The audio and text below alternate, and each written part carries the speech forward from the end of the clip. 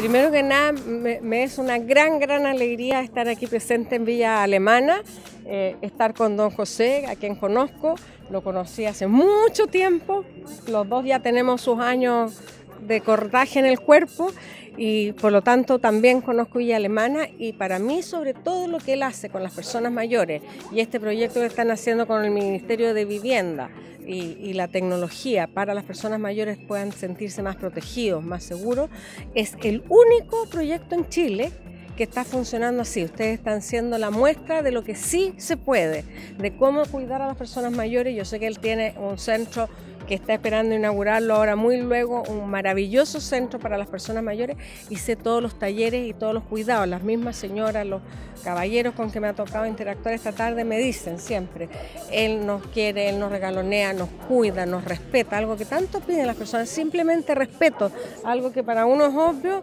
pero parece que no para todos. ¿ya? Respetar, quererlo, visibilizarlo, atenderlo, ver cuáles son sus necesidades.